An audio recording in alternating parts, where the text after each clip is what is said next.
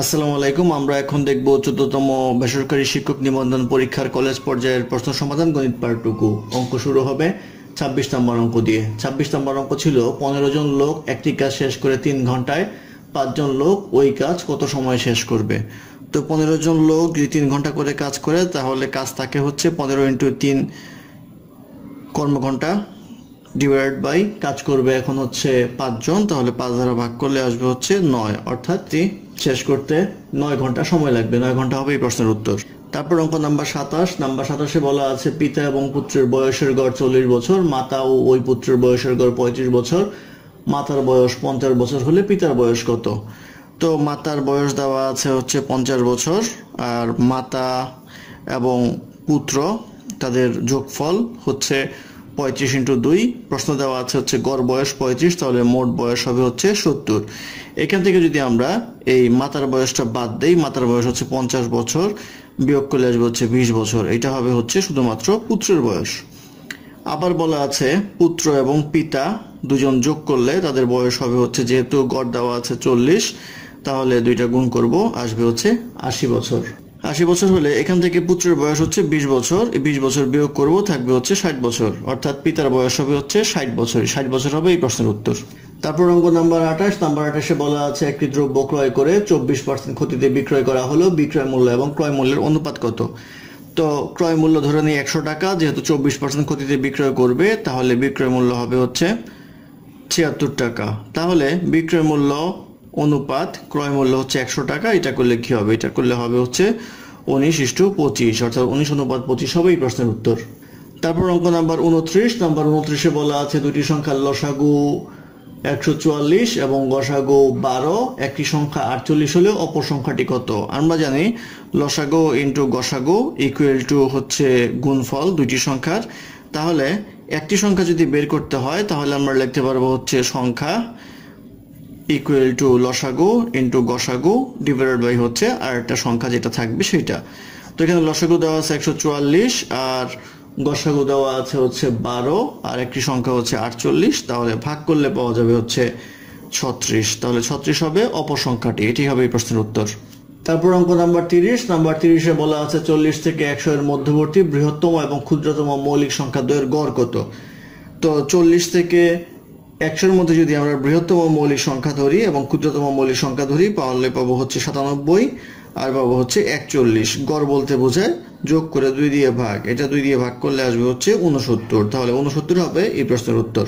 তারপর অঙ্ক নাম্বার একত্রিশ। নাম্বার একত্রিশে বলা আছে, একটি খাতা ছত্রিশ টাকায় বিক্রি করলে যত ক্ষতি হয়, বাহাত্তর টাকায় বিক্রি করলে তার দ্বিগুণ লাভ হয়। খাতাটির ক্রয় মূল্য কত? তো ধরেন এই ক্রয় মূল্যর জায়গাটা হচ্ছে এটা।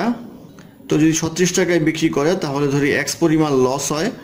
আর যদি বাহাত্তর টাকায় বিক্রি করে, তাহলে তার দ্বিগুণ লাভ হয়, অর্থাৎ টু এক্স পরিমাণ লাভ হয়। তাহলে এই যে ডিফারেন্সটা আছে, এই ডিফারেন্সটা হচ্ছে এই এক্স প্লাস টু এক্সের সমান। আর ডিফারেন্স যদি বাহাত্তর থেকে ছিয়াত্তর বাদ দেয় তাহলে আসবে হচ্ছে ছত্রিশ। বা এটা করলে আসবে হচ্ছে থ্রি এক্স ইকুয়াল টু আসবে হচ্ছে ছত্রিশ, বা এক্স ইকুয়াল টু আসবে হচ্ছে বারো। আমাদের বের করতে বলা হয়েছে ক্রয় মূল্য কত? তো ক্রয় মূল্য হবে এই ছত্রিশ আর এক্স যোগ করলে যা হয়, অর্থাৎ ছত্রিশ প্লাস বারো ইকুয়াল টু আসবে হচ্ছে আটচল্লিশ। এই আটচল্লিশ টাকা হবে ক্রয় মূল্য। এটি হবে এই প্রশ্নের উত্তর। তারপর অঙ্ক নাম্বার বত্রিশ। নাম্বার বত্রিশে বলা আছে, একটি ক্রমিক সমানুপাতের প্রথম এবং তৃতীয় রাশি যথাক্রমে চার ও ষোলো হলে তার মধ্য সমানুপাতিক কত? তো আমরা প্রথম বাই দ্বিতীয় ইকুয়াল টু দ্বিতীয় বাই তৃতীয় লিখতে পারি। অর্থাৎ দ্বিতীয়টা হচ্ছে মধ্য সমানুপাতি, এখান থেকে লিখতে পারি দ্বিতীয় স্কোয়ার ইকুয়াল টু প্রথম ইন্টু তৃতীয়। এটাকে লেখা যায় হচ্ছে চার ইন্টু ষোলো, দ্বিতীয় স্কোয়ার এইটা করলে আসবে হচ্ছে চৌষট্টি বা দ্বিতীয় ইকুয়াল টু রুট ওভার চৌষট্টি ইকুয়াল টু আট। এই আট হবে এই প্রশ্নের উত্তর, অর্থাৎ এটা হবে তৃতীয় সমানুপাতি। তারপর অঙ্ক নাম্বার তেত্রিশ, নাম্বার তেত্রিশে বলা আছে, শতকরা বার্ষিক কত টাকা হার মুনাফায়? ছয়শো পঞ্চাশ টাকার ছয় বছরের মুনাফা দুশো তিয়াত্তর টাকা হবে। তো আমরা জানি I equal to N P আর আমাদের বের করতে বলা হয়েছে rate of interest R equal to লেখা যায় আই বাই এন পি তো ইন্টারেস্ট এখানে বলা আছে দুইশো তিয়াত্তর টাকা, সময় বলা আছে হচ্ছে ছয় বছর। আর প্রিন্সিপাল অ্যামাউন্ট বলা আছে ছয়শো পঞ্চাশ টাকা। তো এটা ভাগ করলে আসবে zero point zero seven equal to লেখা যায় হচ্ছে সেভেন পার্সেন্ট সাত পার্সেন্ট হবে এই প্রশ্নের উত্তর। তারপর অঙ্ক নাম্বার চৌত্রিশ। নাম্বার চৌত্রিশে বলা আছে ক একটি কাজ তিন দিনে এবং খ একটি কাজ ছয় দিনে করতে পারে। ক এবং খ একত্রে কদিনে করতে পারবে। তো ক করতে পারে হচ্ছে তিন দিনে, তাহলে একদিনে করতে পারবে তিন ভাগের এক অংশ কাজ, আর খ একদিনে করতে পারে হচ্ছে ছয় ভাগের এক অংশ কাজ। তো এটা যোগ করলে আসবে হচ্ছে ছয় লসাগু, দুই প্লাস এক ইকুয়াল টু তিন বাই ছয় ইকুয়াল টু দুই ভাগের এক। অর্থাৎ দুই ভাগের এক ভাগ, অর্থাৎ অর্ধেক কাজ সম্পন্ন হবে হচ্ছে দুজনে মিলে করলে। তাহলে সম্পূর্ণ কাজ করতে সময় লাগবে হচ্ছে দুই দিন। এই দুই দিন হবে এই প্রশ্নের উত্তর। তারপর অঙ্ক নাম্বার পঁয়ত্রিশ। নাম্বার পঁয়ত্রিশে বলা আছে, একটি আয়তাকার বাগানের দৈর্ঘ্য, এর প্রস্থের তিন গুণ এবং পরিসীমা চব্বিশ মিটার। বাগানটির ক্ষেত্রফল কত? তো আমরা প্রস্থ ধরে নিব হচ্ছে এক্স তাহলে দৈর্ঘ্য হবে হচ্ছে তার তিন গুণ, অর্থাৎ থ্রি এক্স বাগানটির পরিসীমা, অর্থাৎ X plus three X into two অর্থাৎ দৈর্ঘ্য যোগ প্রস্থ ইন্টু টু ইকুয়াল টু দেওয়া আছে হচ্ছে চব্বিশ। বা এখান থেকে লেখা যায় হচ্ছে four X equal to twelve বা এক্স ইকুয়াল টু লেখা যায় হচ্ছে থ্রি আমাদের জিজ্ঞাসা করা হচ্ছে ক্ষেত্রফল কত? তো ক্ষেত্রফল হচ্ছে আমাদের দৈর্ঘ্য ইন্টু প্রস্থ, অর্থাৎ দৈর্ঘ্য ইন্টু প্রস্থ ইকুয়াল টু হবে nine X three X square equal to আসবে হচ্ছে three into three square equal to three into nine equal to twenty seven অর্থাৎ টোয়েন্টি সেভেন বর্গমিটার হবে এই প্রশ্নের উত্তর। তারপর অঙ্ক নাম্বার ছত্রিশ নাম্বার ছত্রিশে বলা আছে root over four root X equal to zero point one হলে এক্সের মান কত? তো এক্সের মান বের করতে গেলে এটাকে আমরা টু দি পাওয়ার ফোর করব। এটাকেও আমরা টু দি পাওয়ার ফোর করব। তাহলে এক্স ইকুয়াল টু আসবে হচ্ছে zero point zero zero zero one. অর্থাৎ X equal to zero point zero zero one হবে এই প্রশ্নের উত্তর। তারপর অঙ্ক নাম্বার সাঁত্রিশ নাম্বার সাঁত্রিশে বলা আছে log A A equal to one কোন শর্তে হয়? সেটা হবে হচ্ছে এ অবশ্যই জিরোর চেয়ে বড় হইতে হবে এবং এ ওয়ান হওয়া যাবে না। সেই ক্ষেত্রে তখন হবে হচ্ছে log A equal to one তারপর অঙ্ক নাম্বার আটত্রিশ, নাম্বার আটত্রিশে বলা আছে root three whole to the power X plus one equal to cube root whole to the power two X minus one তো এটা যদি করি, তাহলে লেখা যায় three to the power X plus one by two equal to three to the power two ice X minus one by three যেহেতু base base সমান power power সমান, সেহেতু লেখা যায় X plus one by two equal to two X minus one by three বা এটা calculation করলে আসবে হচ্ছে এক্স ইকুয়াল টু ফাইভ অর্থাৎ এক্স ইকুয়াল টু ফাইভ হবে এই প্রশ্নের উত্তর। তারপর অঙ্ক নাম্বার উনচল্লিশ, উনচল্লিশে বলা আছে X plus one by X equal to five হলে X by X square plus X plus ওয়ানের মান কত? এটা করলে আমরা পাবো হচ্ছে এক্স কমন লসাগু করলে X square plus one equal to five বা X square plus one equal to five X এটুকু আসলো। এখন যদি এই এক্স স্কোয়ার প্লাস ওয়ানের মান আমরা এখানে বসাই, তাহলে পাবো X plus five X plus X equal to X by six X equal to আসবে হচ্ছে ওয়ান বাই সিক্স এই ওয়ান বাই সিক্স হবে এই প্রশ্নের উত্তর। তারপর অঙ্ক নাম্বার চল্লিশ। নাম্বার চল্লিশে বলা আছে X equal to one plus root three হলে এক্স কিউব ইকুয়াল টু কত? তো এক্স কিউব ইকুয়াল টু করলে আমরা পাবো one by root three whole cube এটা করলে পাবো হচ্ছে one cube plus root three whole cube plus লেখা যায় থ্রি এ বি অর্থাৎ root three A plus B অর্থাৎ রুট থ্রি প্লাস ওয়ান এই আসবে।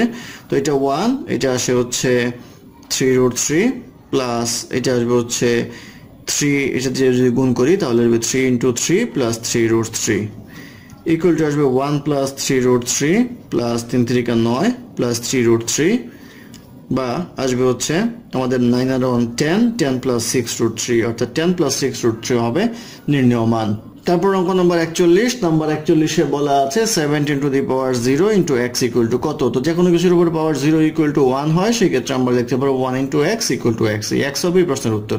তারপর অঙ্ক নাম্বার বিয়াল্লিশ, নাম্বার বিয়াল্লিশে বলা আছে tan theta equal to root three হলে কস থিটা ইকুয়াল টু কত? Tan three equal to root three হলে লেখা যায় হচ্ছে টেন সিক্সটি ডিগ্রি তাহলে থিটা ইকুয়াল টু লেখা যায় সিক্সটি ডিগ্রি তাহলে বের করতে বলা হয়েছে কস থিটা ইকুয়াল টু কত? তাহলে কস থিটা ইকুয়াল টু হবে cos sixty degree cos sixty equal to one by two এই ওয়ান বাই টু হবে এই প্রশ্নের উত্তর। তারপর অঙ্ক নাম্বার তেতাল্লিশ। নাম্বার তেতাল্লিশে বলা আছে a plus b plus c equal to five এবং a square plus b square plus c square equal to nine হয়, তবে a b plus b c plus c equal to কত? তো আমরা সূত্র অনুসারে জানি a b plus b c plus c a equal to লেখা যায় a plus b plus c whole square minus a square plus b square plus c square divided by two তো এখন যদি আমরা মান বসাই, তাহলে পাবো হচ্ছে five square minus nine divided by two equal to আসবে twenty five minus nine by two equal to sixteen by two equal to আসবে এইট এই এইট হবে এই প্রশ্নের উত্তর। তারপর অঙ্ক নাম্বার চুয়াল্লিশ, নাম্বার চুয়াল্লিশে বলা আছে তলের মাত্রা কয়টি? তলের মাত্রা দুইটি, একটা হচ্ছে দৈর্ঘ্য আর একটা হচ্ছে প্রস্থ। তারপর অঙ্ক নাম্বার পঁয়তাল্লিশ, নাম্বার পঁয়তাল্লিশে বলা আছে একটি ট্রাপিজিয়ামের উচ্চতা এইট সেন্টিমিটার এবং সমান্তরাল বাহুদের দৈর্ঘ্য যথাক্রমে নাইন সেন্টিমিটার এবং সেভেন সেন্টিমিটার হলে এর ক্ষেত্রফল কত বর্গ সেন্টিমিটার তো আমরা জানি ক্ষেত্রফল ইকুয়াল টু হাফ ইন্টু উচ্চতা ইন্টু দুই বাহুর যোগফল।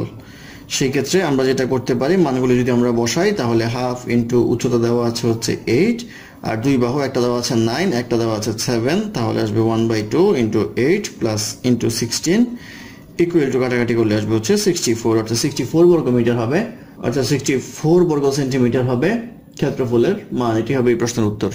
তারপর অঙ্ক নাম্বার ছেচল্লিশ নাম্বার ছেচল্লিশে বলা আছে a square minus c square minus two a b plus b square এই সঠিক উৎপাদক কোনটি? তো এটা করলে পাবো a square minus two a b plus b square minus c square তো এটা আসবে হচ্ছে a minus b whole square minus c square এখন এ স্কোয়ার মাইনাস বি স্কোয়ারের সূত্রে পড়ল তাহলে লিখতে পারব a minus b plus c R a minus b minus c তাহলে নির্ণয় উৎপাদক হবে a minus b plus c আরেকটা হবে a minus b minus c এটি হবে প্রশ্নের উত্তর। তারপর অঙ্ক নাম্বার সাতচল্লিশ। নাম্বার সাতচল্লিশে বলা আছে একটি বৃত্তের ব্যাস ছাব্বিশ সেন্টিমিটার হলে পরিধি কত? পরিধি সূত্র হচ্ছে two pi r equal to two r pi লেখা যায়। টু আর হচ্ছে ব্যাসের মান, তাহলে লেখা যায় twenty six pi twenty six pi হবে এই প্রশ্নের উত্তর। তারপর অঙ্ক নাম্বার আটচল্লিশ। নাম্বার আটচল্লিশে বলা আছে এবিসি সমকোণী ত্রিভুজের প্রত্যেক বাহুর দৈর্ঘ্য এক্স হলে ত্রিভুজটির ক্ষেত্রফল কত? ত্রিভুজটির ক্ষেত্রফল হবে root three by four x square অর্থাৎ এটা হচ্ছে সূত্র, এটা মুখস্থ করতে হবে। Root three by four x square বর্গ একক হবে। এই প্রশ্নের উত্তর। তারপর অঙ্ক নাম্বার উনপঞ্চাশ নাম্বার উনপঞ্চাশে বলা আছে, একটি চতুর্ভুজের চারটি কোণের অনুপাত one is to two is to two is to three হলে বৃহত্তর কোণের পরিমাণ কত? তো যে লেখা যায় x two x two x three x সেই ক্ষেত্রে এই কটা যোগ করলে আমরা জানি চতুর্ভুজের চারটা কোণের সমষ্টি তিনশো ষাট ডিগ্রি বা এখান থেকে লেখা যায় eight x equal to three sixty degree বা এক্স ইকুয়াল লেখা যায় three sixty by eight equal to আসবে হচ্ছে ফোরটি ফাইভ ডিগ্রি। আর বের করতে হবে হচ্ছে বৃহত্তম মান, বৃহত্তম কোণ হচ্ছে three x three into forty five degree equal to আসবে হচ্ছে একশো পঁয়ত্রিশ ডিগ্রি তাহলে একশো পঁয়ত্রিশ ডিগ্রি হবে এই প্রশ্নের উত্তর। তারপর অঙ্ক নাম্বার পঞ্চাশ। নাম্বার পঞ্চাশে বলা আছে, একটি রম্বসের প্রত্যেকটি বাহুর দৈর্ঘ্য ফাইভ সেন্টিমিটার রম্বসটির ক্ষেত্রফল কত বর্গ সেন্টিমিটার যে ইনফরমেশন দেওয়া আছে, এ থেকে রম্বসের ক্ষেত্রফল বের করা সম্ভব নয়। সেক্ষেত্রে এখানে উত্তর নেই।